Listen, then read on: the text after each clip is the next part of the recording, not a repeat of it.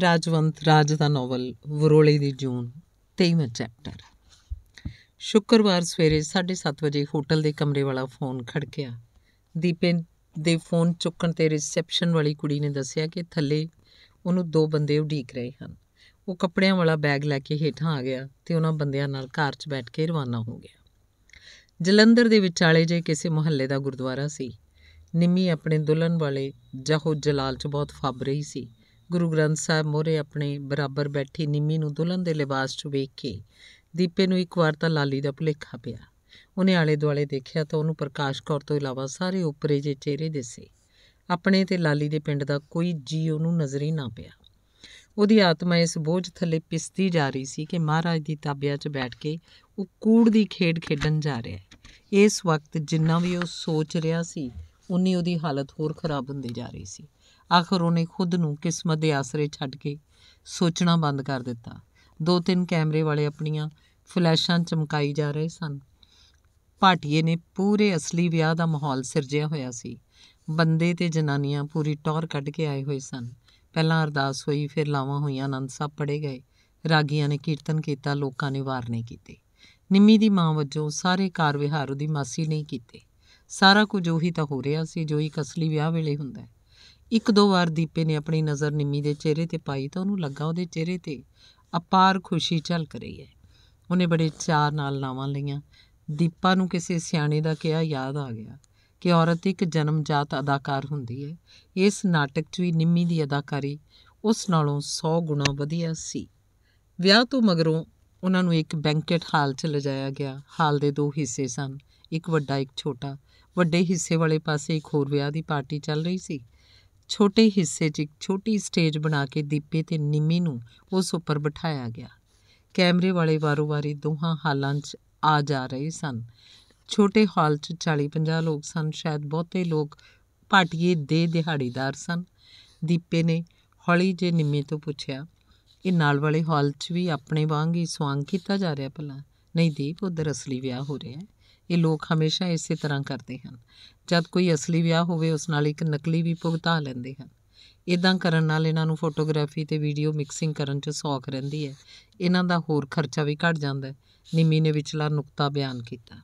ਇਹਦਾ ਮਤਲਬ ਇਹ ਲੋਕ ਆਮ ਹੀ ਕਰਦੇ ਹੋਣੇ ਆ। ਤੇ ਹੋਰ ਕੀ? ਅਮਰੀਕਾ, ਕੈਨੇਡਾ, ਇੰਗਲੈਂਡ ਤੇ ਹੋਰ ਯੂਰਪ ਦੇ ਮੁਲਕਾਂ ਨੂੰ ਜਾਣ ਲਈ ਜਾਲੀ ਵਿਆਹ ਆਮ ਹੀ ਹੁੰਦੇ ਆ।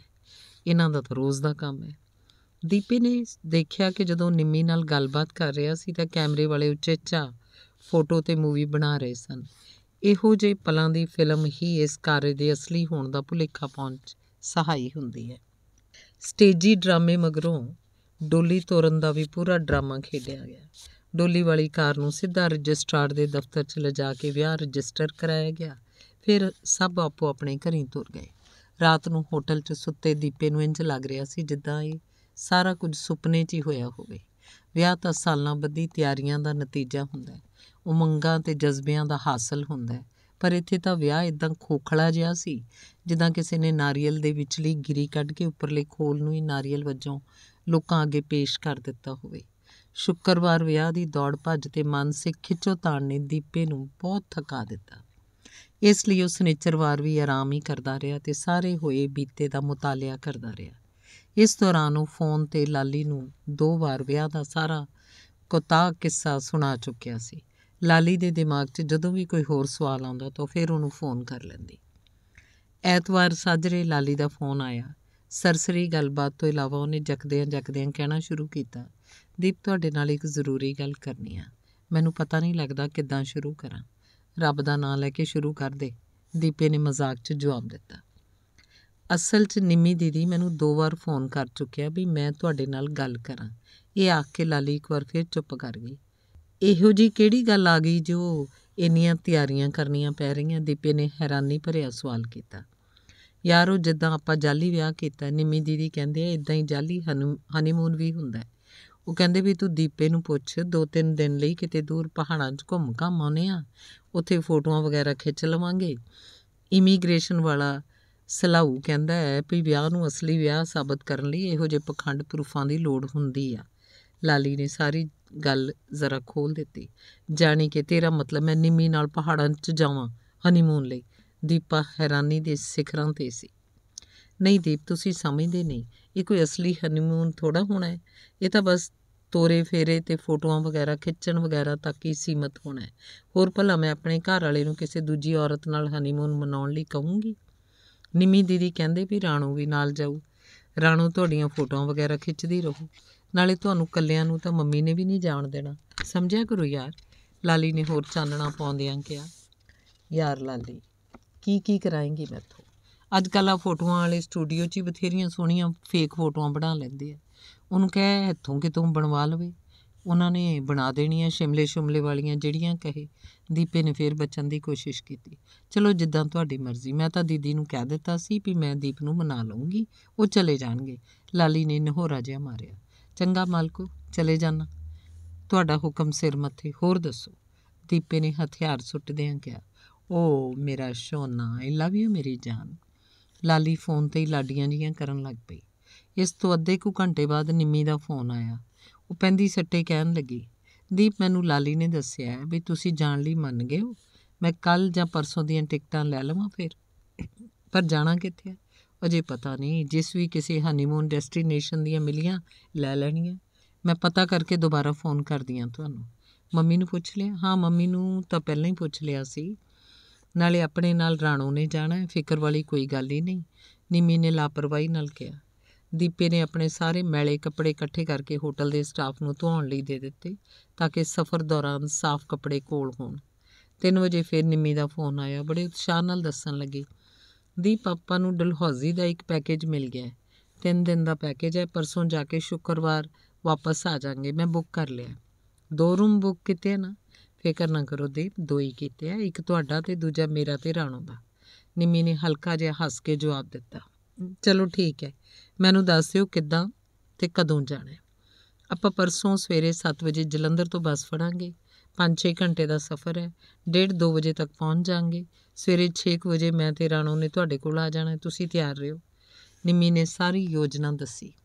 ਸੋਮਵਾਰ ਦੀਪੇ ਨੇ ਬਾਜ਼ਾਰ ਜਾ ਕੇ ਸਫ਼ਰ ਲਈ ਕੁਝ ਹੋਰ ਸਮਾਨ ਖਰੀਦਿਆ ਤੇ ਸ਼ੇਵ ਵਗੈਰਾ ਕਰਾਈ। ਇਹਦੇ ਨਾਲ ਹੀ ਉਹਨੇ ਕਰੰਸੀ ਐਕਸਚੇਂਜ ਤੋਂ 1000 ਡਾਲਰ ਦੀ ਭਾਰਤੀ ਕਰੰਸੀ ਖਰੀਦੀ।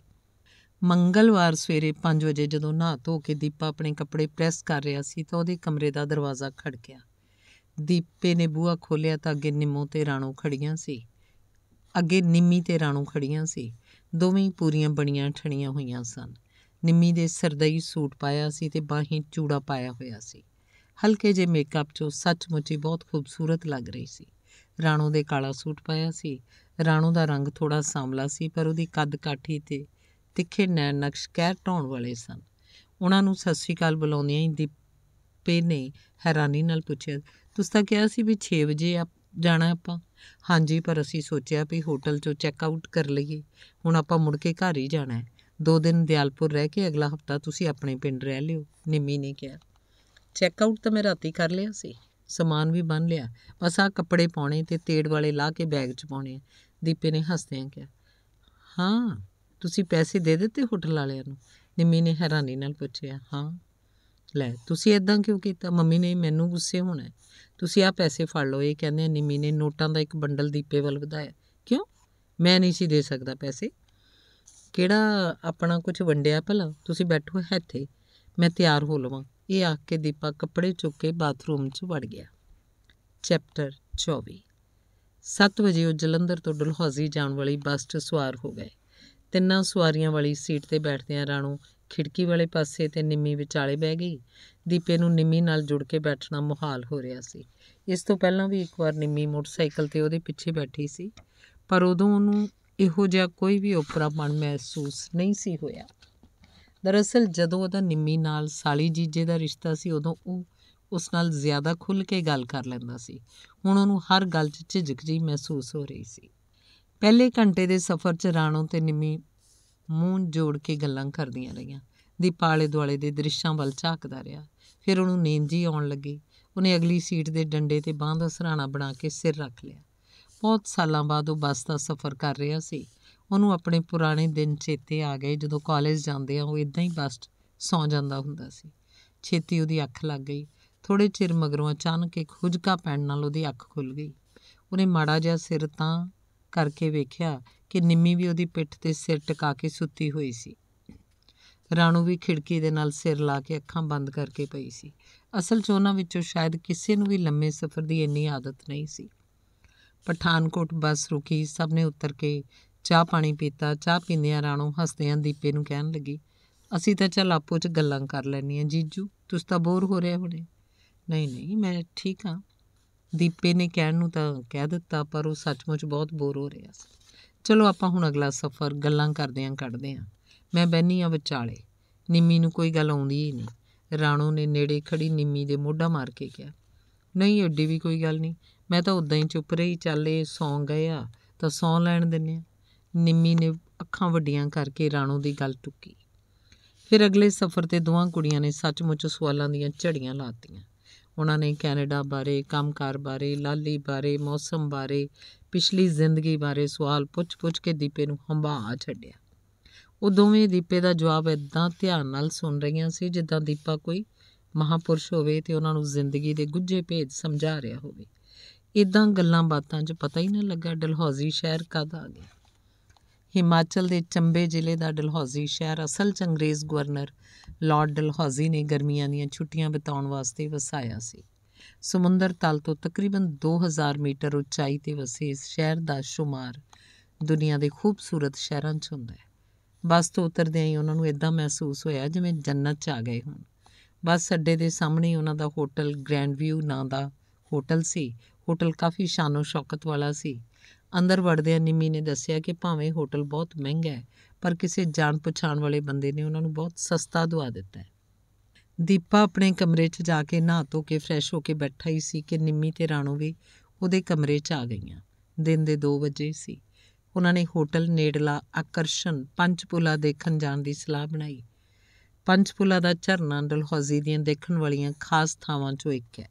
ਪਹਾੜਾਂ ਦੀ ਗੋਦ ਵਿਚਲੀ ਇਸ ਰਮਕੀ, ਰਮਣੀਕ ਥਾਂ ਤੇ ਜਾ ਕੇ ਦੀਪੇ ਦਾ ਮਨ ਖਿੜ ਗਿਆ।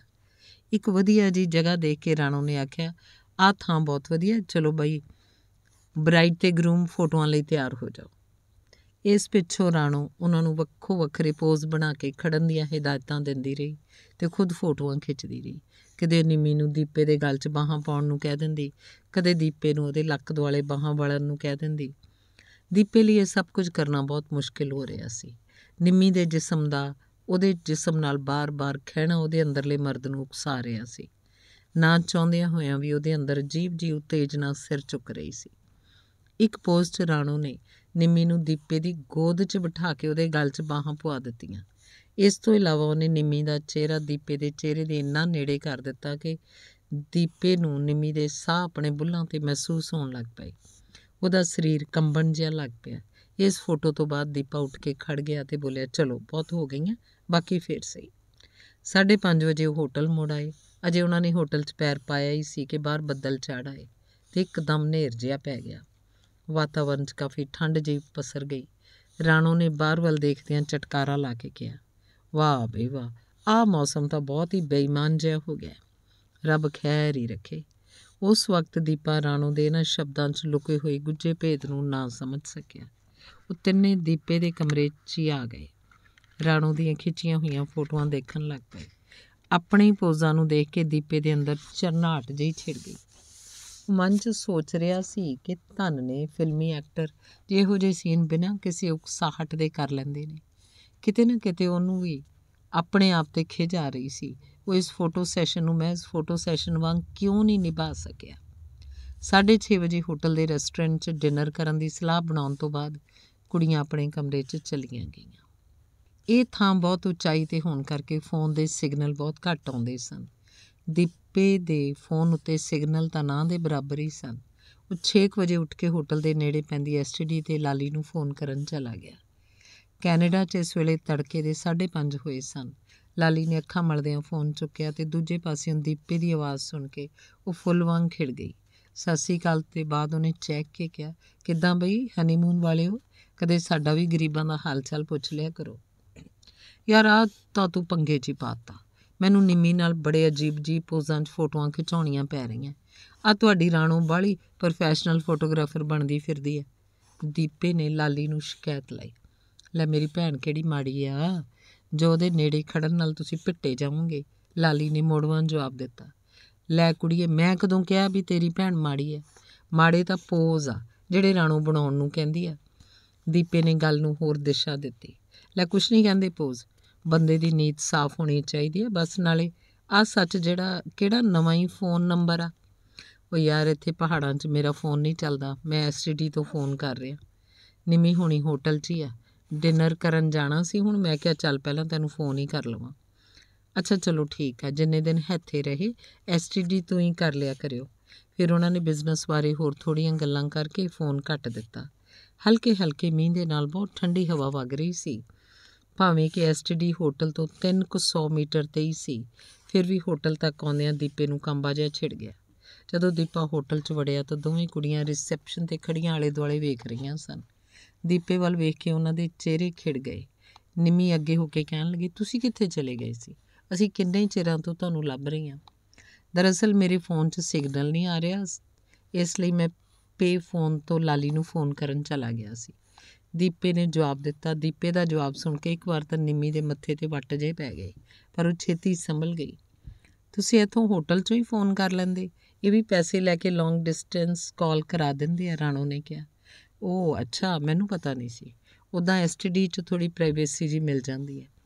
ਦੀਪੇ ਨੇ ਰੈਸਟੋਰੈਂਟ ਵੱਲ ਤੁਰਦਿਆਂ ਕਿਹਾ। ਇਸ ਪਿੱਛੋਂ ਤੈਨੂੰ ਰੈਸਟੋਰੈਂਟ 'ਚ ਇੱਕ ਟੇਬਲ ਤੇ ਜਾ ਬੈਠੇ। ਦੀਪੇ ਨੂੰ ਠੰਡ ਨਾਲ ਬੇਬਲ ਹੋਇਆ ਦੇਖ ਕੇ ਨਿੰਮੀ ਕਹਿਣ ਲੱਗੀ, ਦੀਪ, ਤੁਸੀਂ ਕਾਫੀ ਕਾਫੀ ਭਿੱਜ ਗਏ ਹੋ। ਤੁਸੀਂ ਪੀ ਤਾਂ ਲੈਂਦੇ ਹੀ ਹੋ। ਵਰਾਂਡੀ ਜਾਂ ਕੁਝ ਹੋਰ ਮੰਗਵਾ ਕੇ ਲਾ ਲਓ, ਨਹੀਂ ਤਾਂ ਕਿਤੇ ਬਿਮਾਰ ਨਾ ਪੈ ਜਾਇਓ। ਦੀਪੇ ਨੇ ਕੁਝ ਸੋਚ ਕੇ ਮੈਨੂ ਚੁੱਕਿਆ ਆਪਣੇ ਲਈ। ਮੈਕਡੋਵਲ ਬ੍ਰਾਂਡੀ ਦਾ ਇੱਕ ਲਾਰਜ ਪੈਗ ਆਰਡਰ ਕਰ ਦਿੱਤਾ। ਨਿੰਮੀ ਨੇ ਸਟਾਰਟਰ ਦੇ ਤੌਰ ਤੇ ਚਿੱਲੀ ਚਿਕਨ ਆਰਡਰ ਕਰ ਦਿੱਤਾ।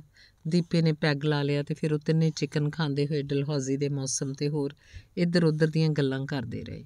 ਥੋੜੇ ਚਿਰ ਬਾਅਦ ਵੇਟਰ ਨੂੰ ਕੋਲ ਸੱਦ ਕੇ ਨਿੰਮੀ ਨੇ ਮਲਕੜੇ ਜੇ ਦੀਪੇ ਲਈ ਪਹਿਲਾ ਵਰਗਾ ਇੱਕ ਹੋਰ ਪੈਗ ਆਰਡਰ ਕਰ ਦਿੱਤਾ। ਟੇਬਲ ਤੇ ਦੂਜਾ ਪੈਗ ਆਉਣ ਤੇ ਦੀਪਾ ਹੈਰਾਨੀ ਨਾਲ ਕਹਿਣ ਲੱਗਾ, ਮੇਰੇ ਲਈ ਇੱਕ ਹੀ ਬਹੁਤ ਸੀ, ਮੈਂ ਜ਼ਿਆਦਾ ਨਹੀਂ ਪੀਂਦਾ। ਤੁਹਾਡੀ ਹਾਲਤ ਵੇਖ ਕੇ ਮੈਂ ਆਰਡਰ ਕੀਤਾ ਤੁਸੀਂ ਹਾਲੇ ਵੀ ਕੰਬੀ ਜਾ ਰਹੇ ਹੋ। ਨਿੰਮੀ ਨੇ ਸਫ਼ਾਈ ਦਿੱਤੀ। ਦੀਪੇ ਨੇ ਬਹੁਤੀ ਬਹਿਸ ਨਾ ਕੀਤੀ ਤੇ ਦੂਜਾ ਪੈਗ ਵੀ ਪੀ ਲਿਆ। ਥੋੜਾ ਚਿਰ ਹੋਰ ਗੱਲਾਂ ਕਰਨ ਪਿੱਛੋਂ ਰਾਣੋ ਨੇ ਕਿਹਾ, ਚਲੋ ਯਾਰ, ਰੋਟੀ ਮੰਗਾ ਲਓ, ਮੈਨੂੰ ਭੁੱਖ ਲੱਗੀ ਹੈ। ਦੀਪ, ਤੁਸੀਂ ਲਓਗੇ ਇੱਕ ਹੋਰ ਜਾਂ ਰੋਟੀ ਮੰਗਵਾ ਲਈਏ? ਨਿੰਮੀ ਨੇ ਦੀਪੇ ਨੂੰ ਸੁਲਾ ਮਾਰੀ। ਨਹੀਂ, ਰੋਟੀ ਮੰਗਵਾ ਲਓ। ਚਲੋ, ਐਤਕੀ ਲਾਰਜ ਨੇ ਇੱਕ ਛੋਟਾ ਜਿਹਾ ਲਾ ਲਓ। ਮੈਂ ਰੋਟੀ ਦੇ ਨਾਲ ਹੀ ਕਹਿ ਦਿੰਨੀ ਆ ਦੀਪੇ ਨੂੰ ਪਹਿਲੇ ਦੋ ਪੈਗਾਂ ਦਾ ਸਰੂਰ ਜਿਹਾ ਹੋ ਚੁੱਕਾ ਸੀ। ਉਹ ਕੁਛ ਨਾ ਬੋਲਿਆ। ਨਿੰਮੀ ਨੇ ਰੋਟੀ ਦੇ ਨਾਲ ਇੱਕ ਛੋਟਾ ਪੈਗ ਹੋਰ ਆਰਡਰ ਕਰ ਦਿੱਤਾ। ਸ਼ਰਾਬ ਨੇ ਦੀਪੇ ਦਾ ਅੰਦਰ ਬਾਹਰ ਇੱਕ ਕਰ ਦਿੱਤਾ। ਹੁਣ ਉਹ ਕੁੜੀਆਂ ਨਾਲ ਬਹੁਤ ਖੁੱਲ-ਖੁੱਲ ਕੇ ਗੱਲਾਂ ਕਰਨ ਲੱਗ ਪਿਆ। ਹਰ ਗੱਲ ਤੇ ਖੁੱਲ ਕੇ ਹੱਸਦਾ। ਦੀਪੇ ਦੀ ਬਦਲੀ ਹੋਈ ਤਬੀਅਤ ਦੇਖ ਕੇ ਨਿੰਮੀ ਤੇ ਰਾਣੋ ਇੱਕ ਦੂਜੇ ਵੱਲ ਦੇਖ ਕੇ ਮੁਸਕਰਾ ਪਈਆਂ। ਖਾਣ ਤੋਂ ਬਾਅਦ ਗੱਲਾਂ ਬਾਤਾਂ ਦਾ ਸਿਲਸਿਲਾ ਕਾਫੀ ਦੇਰ ਚੱਲਦਾ ਰਿਹਾ। ਇਸ ਦੌਰਾਨ ਹੋਟਲ ਦੇ ਬਹਿਰੇ ਨੇ ਆ ਕੇ ਰਾਣੋ ਦੇ ਕੰਨ 'ਚ ਕੁਝ ਕਿਹਾ ਤਾਂ ਰਾਣੋ ਅੱਖਾਂ ਹੀ ਅੱਖਾਂ ਨਾਲ ਨਿੰਮੀ ਨੂੰ ਕੁਝ ਇਸ਼ਾਰਾ ਜਿਹਾ ਕਰਕੇ ਉੱਠ ਕੇ ਚਲੀ ਗਈ। ਜਦੋਂ ਦੀਪੇ ਨੇ ਨਿੰਮੀ ਵੱਲ ਸਵਾਲੀਆ ਨਜ਼ਰਾਂ ਨਾਲ ਵੇਖਿਆ ਤਾਂ ਨਿੰਮੀ ਨੇ ਮੁਸਕਰਾ ਕੇ ਕਿਹਾ, ਰਾਣੋ ਨੂੰ ਕੋਈ ਮਿਲਣ ਆਇਆ? ਉਹਦਾ ਕੋਈ ਰਿਸ਼ਤੇਦਾਰ ਰਹਿੰਦਾ ਇੱਥੇ ਡਲਹੌਜ਼ੀ 'ਚ? ਅੱਛਾ, ਇੱਥੇ ਹੀ ਬੁਲਾ ਲੈਂਦੀ ਰਿਸ਼ਤੇਦਾਰ ਨੂੰ। ਆਪਾਂ ਵੀ ਮਿਲ ਲੈਂਦੇ, ਦੀਪੇ ਨੇ ਹੈਰਾਨ ਹੁੰਦਿਆਂ ਕਿਹਾ। ਅਗਲਿਆਂ ਦੀ ਮਰਜ਼ੀ। ਨਿੰਮੀ ਨੇ ਮੋਢੇ ਚੜਾਉਂਦਿਆਂ ਸੰਖੇਪ ਜਿਹਾ ਜਵਾਬ ਦਿੱਤਾ। 8 ਵਜੇ ਇੱਕ ਦੂਜੇ ਨੂੰ ਗੁੱਡ ਨਾਈਟ ਆਖ ਕੇ ਆਪੋ ਆਪਣੇ ਕਮਰੇ 'ਚ ਚਲੇ ਗਏ। ਹੋਟਲ ਦੇ ਪਿਛਲੇ ਪਾਸੇ ਦੇਵਦਾਰ ਤੇ ਚੀੜ ਦੇ ਦਰਖਤ ਹਵਾ ਨਾਲ ਦੂਰੇ ਹੋਏ ਜਾ ਰਹੇ ਸਨ। ਬੱਦਲਾਂ ਦੀ ਗੜਗੜਾਹਟ ਤੇ ਬਿਜਲੀ ਦੀ ਚਮਕ ਮੌਸਮ 'ਚ ਖੌਫ ਜਿਹਾ ਘੋਲ ਰਹੇ ਸਨ। ਦੀਪੇ ਨੂੰ ਪੈਂਦੇ ਸਾਰੀ ਨੀਂਦ ਆ ਗਈ। ਅਜੇ ਸੁੱਤੇ ਨੂੰ ਥੋੜਾ ਹੀ ਚਿਰ ਹੋਇਆ ਸੀ ਕਿ ਬੱਦਲਾਂ ਦੀ ਗੜਗੜਾਹਟ ਨੇ ਉਹਨੂੰ ਫੇਰ ਜਗਾ ਦਿੱਤਾ। ਉਹਨੇ ਘੜੀ ਦੇਖੀ 9:30 ਦਾ ਵਕਤ ਸੀ। ਸ਼ਰਾਬ ਦਾ ਨਸ਼ਾ ਅਜੇ ਵੀ ਉਹਦੇ ਉੱਪਰ ਪੂਰਾ ਹਾਵੀ ਸੀ। ਫਿਰ ਦੀਪੇ ਨੂੰ ਲੱਗਿਆ ਕਿ ਇਹ ਸਿਰਫ ਬੱਦਲਾਂ ਦੀ ਆਵਾਜ਼ ਨਹੀਂ ਸੀ। ਸ਼ਾਇਦ ਉਹਦੇ ਦਰਵਾਜ਼ੇ ਤੇ ਦਸਤਕ ਵੀ ਹੋਈ ਹੈ। ਉਹਦਾ ਸ਼ੱਕ ਸਹੀ ਨਿਕਲਿਆ। ਦਰਵਾਜ਼ੇ ਤੇ ਫਿਰ ਖੜਾਕ ਹੋਇਆ। ਉਹਨੇ ਕਾਲੀ ਨਾਲ ਉੱਠ ਕੇ ਦਰਵਾਜ਼ਾ ਖੋਲ੍ਹਿਆ ਤਾਂ ਦਰਵਾਜ਼ੇ 'ਚ ਨਿੰਮੀ ਖੜੀ ਸੀ। ਉਹ ਕਾਲੀ ਨਾਲ ਅੰਦਰ ਆ ਗਈ। ਦੀਪੇ ਨੇ ਅੱਖਾਂ ਮਲਦਿਆਂ ਉਹਨੂੰ ਧਿਆਨ ਨਾਲ ਦੇਖਿਆ। ਉਹਦੇ ਇੱਕ ਸਿਲਕੀ ਜਿਹੀ ਜਾਲੀਦਾਰ ਸਲੀਵਲੈਸ ਨਾਈਟੀ ਪਾਈ ਸੀ ਜੋ ਉਹਦੇ ਗੋਡਿਆਂ ਤੱਕ ਨਹੀਂ ਸੀ ਪਹੁੰਚਦੀ। ਕਮਰੇ 'ਚ ਡਿਮ ਜਿਹੀ ਲਾਈਟ ਬਲ ਰਹੀ ਸੀ, ਦੀਪੇ ਨੂੰ ਇਦਾਂ ਲੱਗਾ ਜਿੱਦਾਂ ਨਾਈਟੀ ਹੇਠ ਉਹਦਾ ਗੋਰਾ ਪਿੰਡਾ ਜਗ ਰਿਹਾ ਹੋਵੇ। ਉਹਨੇ ਕੋਈ ਬਹੁਤ ਹੀ ਉਤੇਜਕ ਜਿਹਾ ਪਰਫਿਊਮ ਲਾਇਆ ਸੀ। ਦੀਪਾ ਇੱਕ ਤਰ੍ਹਾਂ ਸ਼ਰਾਬ ਹੁਸਨ ਤੇ ਮਹਿਕ ਦੇ ਜਾਲ 'ਚ ਜਾ ਰਿਹਾ ਸੀ। ਫਿਰ ਉਹ ਇੱਕਦਮ ਸੰਭਲ ਗਿਆ ਤੇ ਆਪਣਾ ਸਿਰ ਝਟਕਦੇ ਕਹਿਣ ਲੱਗਾ, ਨਿਮੀ, ਤੂੰ ਕੀ ਹੋਇਆ? ਬਾਹਰ ਬੱਦਲ ਬਹੁਤ ਘੜਕ ਰਹੇ ਆ, ਮੈਨੂੰ ਬਹੁਤ ਡਰ ਲੱਗ ਰਿਹਾ ਨਿਮੀ ਨੇ ਦੀਪੇ ਵੱਲ ਦੇਖਦਿਆਂ ਕਿਹਾ, ਰਾਣੂ ਆਈ ਨਹੀਂ ਅਜੇ ਤੱਕ? ਨਹੀਂ, ਉਹਨੇ ਸਵੇਰੇ ਆਉਣਾ ਹੈ। ਕੀ ਮਤਲਬ? ਉਹਦੇ ਰਿਸ਼ਤੇਦਾਰਾਂ ਨੇ ਉਹਨੂੰ ਰੱਖ ਲਿਆ। ਉਹਨੇ ਹੋਟਲ ਵਾਲੇ ਫੋਨ ਤੇ ਫੋਨ ਕੀਤਾ ਸੀ। ਨਿੰਮੀ ਨੇ ਵਿਚਲੀ ਗੱਲ ਦੱਸੀ। ਹੈ ਕਮਲੀ, ਤੈਨੂੰ ਕੱਲੀ ਨੂੰ ਛੱਡ ਕੇ ਤੁਰ ਗਈ। ਦੀਪਾ ਆਪਣੀ ਧੁਨ 'ਚ ਬੋਲ ਗਿਆ। ਜਿੰਨਾ ਚਿਰ ਮੌਸਮ ਥੋੜਾ ਠੀਕ ਨਹੀਂ ਹੁੰਦਾ, ਮੈਂ ਇੱਥੇ ਰਹਿ ਲਵਾਂ ਤੁਹਾਡੇ ਕਮਰੇ 'ਚ? ਨਿੰਮੀ ਨੇ ਜੱਕਦੇ ਜੇ ਪੁੱਛਿਆ। ਹਾਂ, ਠੀਕ ਹੈ, ਆ ਜਾ। ਦੀਪੇ ਦੇ ਇੰਨਾ ਕਹਿਣ ਦੀ ਦੇਰ ਸੀ ਕਿ ਨਿੰਮੀ ਉਹਦੇ ਬੈੱਡ ਤੇ ਚੜ ਕੇ ਬੈਠ ਗਈ ਤੇ ਉਹਨੇ ਆਪਣੀਆਂ ਲੱਤਾਂ ਰਜਾਈ ਨਾਲ ਢੱਕ ਲਈਆਂ। ਨਿੰਮੀ ਦੀ ਇਸ ਹਰਕਤ ਨਾਲ ਦੀਪੇ ਦੇ ਦਿਮਾਗ 'ਚ ਹਲਚਲ ਜੀ ਹੋਈ। ਉਹਨੂੰ ਕੁਝ ਗਲਤ ਵਾਪਰਨ ਦੇ ਆਸਾਰ ਲੱਗਣ ਲੱਗ ਪਏ। ਬੈੱਡ ਦੇ ਦੂਜੇ ਪਾਸਿਓਂ ਦੀ ਚੜ ਕੇ ਉਹ ਵੀ ਰਜਾਈ ਲੱਤਾਂ ਤੇ ਲੈ ਕੇ ਬੈਠ ਗਿਆ। ਨਿੰਮੀ ਦੇ ਚਿਹਰੇ ਵੱਲ ਧਿਆਨ ਨਾਲ ਦੇਖਣ ਤੋਂ ਉਹਨੂੰ ਇਦਾਂ ਲੱਗਾ ਜਿੱਦਾਂ ਲਾਲੀ ਉਹਦੇ ਨੇੜੇ ਬੈਠੀ ਹੋਵੇ। ਉਹਨੂੰ ਸਮਝ ਨਹੀਂ ਸੀ ਆ ਰਹੀ ਕਿ ਕੋਈ ਗੱਲਬਾਤ ਕਰੇ ਜਾਂ ਚੁੱਪ ਰਹੇ। ਤੁਹਾਨੂੰ ਨੀਂਦ ਆਉਂਦੀ ਹੈ, ਤੁਸੀਂ ਸੌਂ ਜਾਓ। ਨਿੰਮੀ ਨੇ ਸੋ ਸੂਤ ਹੋ ਕੇ ਬਹਿੰਦਿਆਂ ਕਿਹਾ। ਇਸੇ ਸੂਤ ਹੋਣ ਦੌਰਾਨ ਉਹਨੇ ਰਜਾਈ 'ਚ ਹੀ ਆਪਣੇ ਪੈਰ ਦੀਪੇ ਦੇ ਪੈਰਾਂ ਨਾਲ ਜੋੜ ਦਿੱਤੇ। ਦੀਪੇ ਨੇ ਆਪਣੇ ਪੈਰ ਥੋੜੇ ਪਿੱਛੇ ਖਿੱਚੇ, ਪਰ ਨਿੰਮੀ ਨੇ ਪੈਰ ਹੋਰ ਅੱਗੇ ਵਧਾ ਦਿੱਤੇ। ਦੀਪੇ ਨੇ ਨਿੰਮੀ ਵੱਲ ਅੱਖਾਂ ਕੱਢ ਕੇ ਦੇਖਿਆ। ਉਹ ਅੱਗੋਂ ਹਲਕਾ ਹਲਕਾ ਮੁਸਕਰਾਉਂਦਿਆਂ ਕਹਿਣ ਲੱਗੀ, ਮੇਰੀਆਂ ਸ਼ਰਾਰਤਾਂ ਦਾ ਬੁਰਾ ਨਾ ਮਨਾਓ। ਸੌਂ ਜਾਓ ਦੀਪ, ਮੇਰੇ ਤੋਂ ਡਰਨ ਦੀ ਲੋੜ ਨਹੀਂ। ਦੀਪਾ ਨਿੰਮੀ ਵੱਲ ਪਿੱਠ ਕਰਕੇ ਲੰਮਾ ਪੈ ਗਿਆ, ਪਰ ਨੀਂਦ ਉਹਦੀਆਂ ਅੱਖਾਂ ਤੋਂ ਕੋਹਾਂ ਦੂਰ ਸੀ। ਉਹਦਾ ਮਨ ਕਹਿ ਰਿਹਾ ਸੀ ਕਿ ਬਾਹਰ ਮੌਸਮ ਠੀਕ ਹੋ ਜਾਏ, ਨਿੰਮੀ ਆਪਣੇ ਕਮਰੇ 'ਚ ਚਲੀ ਜਾਏ, ਪਰ ਉਹਦਾ ਤਨ ਉਹਦਾ ਸਾਥ ਨਹੀਂ ਸੀ ਦੇ ਰਿਹਾ। ਵਕਤ ਆਪਣੇ ਆਪ ਨੂੰ ਦੁਹਰਾ ਰਿਹਾ ਸੀ। ਅੱਜ ਰੀਆ ਬੈਂਸ ਦੀ ਥਾਂ ਨਿੰਮੀ ਸੀ। ਬਾਕੀ ਹਾਲਾਤ ਉਹੋ ਜਿਹੇ ਹੀ ਸਨ। ਸ਼ਰਾਬ ਦਾ ਨਸ਼ਾ, ਹੁਸਨ, ਨਖਰਾ, ਇਕਾਂਤ, ਬੇਈਮਾਨ ਮੌਸਮ, ਸਾਰਾ ਕੁਝ ਉਹਦੇ ਈਮਾਨ ਨੂੰ ਡੇਗਣ ਤੇ ਤੁਲਿਆ ਹੋਇਆ ਸੀ। ਦੀਪੇ ਦੀ ਸ਼ੰਕਾ ਸਹੀ ਸਾਬਤ ਹੋਈ। ਬਾਹਰ ਬਹੁਤ ਜ਼ੋਰ ਨਾਲ ਬਿਜਲੀ ਕੜਕੀ। ਨਿੰਮੀ ਚੀਕ ਜੀ ਮਾਰ ਕੇ ਪਿੱਛੇੋਂ ਦੀਪੇ ਨਾਲ ਚੰਬੜ ਗਈ। ਦੀਪੇ ਨੂੰ ਲੱਗਾ ਅਸਮਾਨੀ ਬਿਜਲੀ। ਉਹਦੇ ਸਰੀਰ ਥਾਣੀ ਹੋ ਕੇ ਗੁਜ਼ਰ ਗਈ ਹੋਵੇ। ਇਹ ਸ਼ਰਾਬ ਦਾ ਸਰੂਰ ਸੀ। ਜਾਂ ਦੀਪੇ ਦੇ ਅੰਦਰਲੇ ਮਰਦ ਦੀ ਕਮਜ਼ੋਰੀ ਕਿ ਉਹਦੇ ਅੰਦਰੋਂ ਵਿਰੋਧ ਕਰਨ ਦੀ ਤਾਕਤ ਜਵਾਬ ਦੇ ਗਈ। ਉਹ ਚੁੱਪ ਕਰਕੇ ਲੰਮਾ ਪਿਆ ਰਿਹਾ। ਹੌਲੀ ਹੌਲੀ ਨਿੰਮੀ ਦੇ ਸਾਹ ਉਹਦੀ ਧੌਣ ਥਾਣੀ ਹੁੰਦੇ ਹੋਏ ਕੰਨਾਂ ਨੂੰ ਟਕਰਾਉਣ ਲੱਗ ਪਏ। ਉਹਨੇ ਕੰਬਦੇ ਜੇ ਸਰੀਰ ਨਾਲ ਨਿੰਮੀ ਵੱਲ ਪਾਸਾ ਪਰਤਿਆ ਤਾਂ ਅਗਲੇ ਪਲ ਉਹਨਾਂ ਦੇ ਬੁੱਲ ਟਕਰਾ ਚੁੱਕੇ ਸਨ। ਬਾਹਰ ਤੂਫਾਨ ਹੋਰ ਤੇਜ਼ ਹੋ ਗਿਆ। ਦੀਪੇ ਦੇ ਹੱਥਾਂ ਨੇ ਉਹਦੇ ਦਿਮਾਗ ਦਾ ਕਹਿਣਾ ਮੰਨਣੋਂ ਛੱਡ ਦਿੱਤਾ। ਸੂਝ ਸਿਆਣਪਾਂ ਧਰੀਆਂ ਦੀਆਂ ਧਰੀਆਂ ਰਹਿ ਗਈਆਂ। ਜ਼ਾਬਤੇ ਖੰਡਿਤ ਹੋ ਗਏ ਸੌਆਂ ਝੂਠੀਆਂ ਪੈ ਗਈਆਂ। ਬਾਕੀ ਦੀ ਰਾਤ ਉਸ ਕਮਰੇ ਤੇ ਸ਼ੈਤਾਨ ਦਾ ਪਹਿਰਾ ਰਿਹਾ। ਧੰਨਵਾਦ। ਚੱਲਦਾ।